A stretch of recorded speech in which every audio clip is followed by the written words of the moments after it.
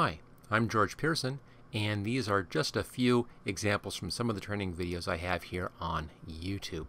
Now, when you're working with the training, following along the training, if you want to get the materials I used in the training, just go to the description down below and click on the link that's at the top of the description, and this will take you to a page where you can download the materials. Please subscribe, click the like button, and of course always share on Facebook, Twitter, or wherever. I really appreciate that.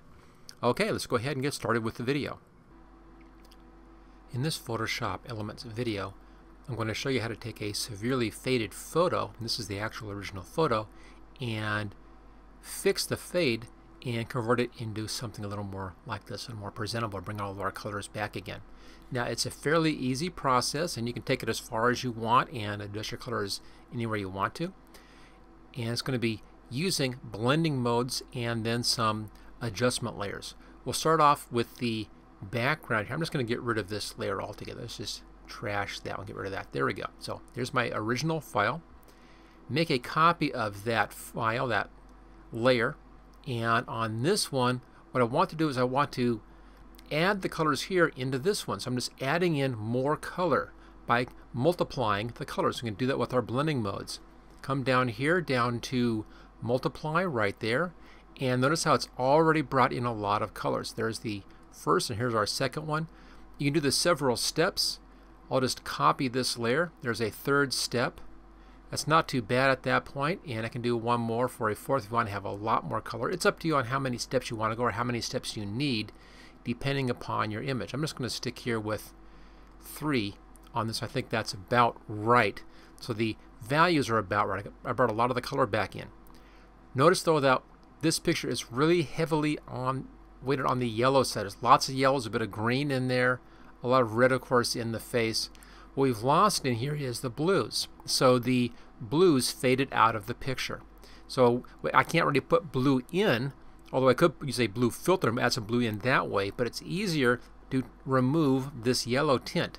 We'll do that with an adjustment layer. So up here to layers and new adjustment layer, hue saturation choose OK. Here we go. Now in the hue saturation you have several channels. Master channel controls the whole image, reds, yellows, greens, cyans, blues, magentas.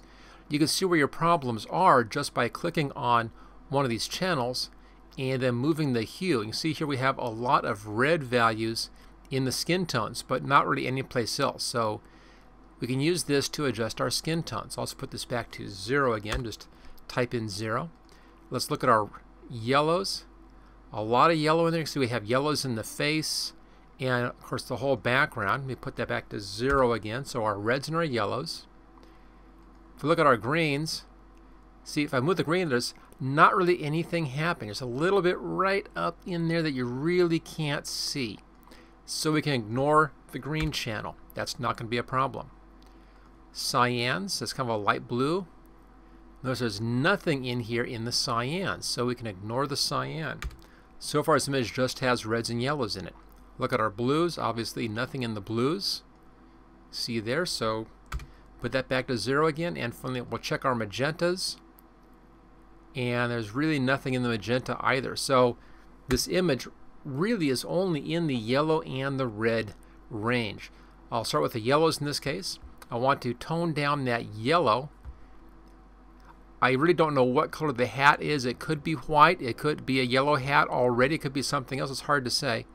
But I can, you know, move my control back and forth. If I go to the right, it gets really weird. Go to the left a little bit, it begins to look more natural. Now, so I'm beginning to see a bit too much red in here, but it's already everything else is improving. So I'm just looking at the skin tones. I'll take the yellows a little bit to the left. And that knocks off a lot of that real hard yellow in the background. If you want to, you can adjust the saturation a bit, maybe bring the saturation down just a touch. And you can lighten the image up a little bit, and I think we're looking pretty close. Let's now take a look at our red channel. There we go. If we go to the right, it goes more yellow. That's not what I want. If we go to the left, it goes a little bit more red into the skin. And I think just a, just a touch to the left side there brings back a bit of the flesh color in here. So I think our color is now pretty good on that image. We've already taken care of that color. Now the we've lost a bit of values in here. So I can bring back some values back into the picture again with another adjustment layer. So let's go up to our layers again and new adjustment layer. Let's do our levels this time. And here are all of the values in our picture. Notice nothing really on the pure white and nothing really on the, on the pure dark. So I'm going to move the dark in a little bit. This just shifts what's black into our dark gray. So it makes the blacks a little bit richer. Same thing on the white side, move this over towards the whites, and it makes the whites a little bit richer. This also, by moving these in, tends to make the picture a little bit more contrasty. This is our mid-gray point, and you can adjust this if you want to a little bit. I'll put it right about there. So I think our flesh tone is looking good. Only thing we really have left at this point is her teeth. Her teeth are still a little bit yellow. I want to solve that teeth, but I don't want to be damaging anything else in here. So I need to separate out the teeth. Now here's where I'm going to be doing a special trick. I have all these layers. I'm going to merge all these layers onto a new layer up here. And let me just bring up a little keyboard shortcut so you can see what it is that I'm going to be doing here. There it is. Okay, now this is a four key keyboard shortcut. Uh, on Windows it's Control Alt Shift and E. Upper or lowercase doesn't matter. So just hold down the Control Alt and Shift and then tap the E. On the Mac it's Command Option Shift and E, same thing. Okay, let me show you how that works. Have all of your layers selected that you want to have included in your image. Make sure you're on the top layer and then I'll hold down those keys. The Control Alt Shift, hit the E key and it gives me a new layer that combines all of those layers. It's a really cool keyboard shortcut, one of my favorites. Okay, now I'll just hide this stuff, that's all taken care of. Now here I want to make a selection of just the teeth. We'll put the teeth on a new layer and then we'll use a bit of an adjustment layer on those teeth to improve the look of the teeth. So let's just zoom in on our teeth. There we go. And let's just as you can see our option panel down below. And I'll grab the magic wand. And so our tolerance, oh about 25. Make sure that contiguous is selected. And I'll just click on our, our middle tooth here. Once you've made your first selection, click over here for add. So I now want to just add the rest of these teeth. Went too far, I'll do Control Z and back out of that selection. There we go. Okay, so that adds the teeth into our selection. Let's now make a new layer of that selection. So layer, new, layer via copy. There we go.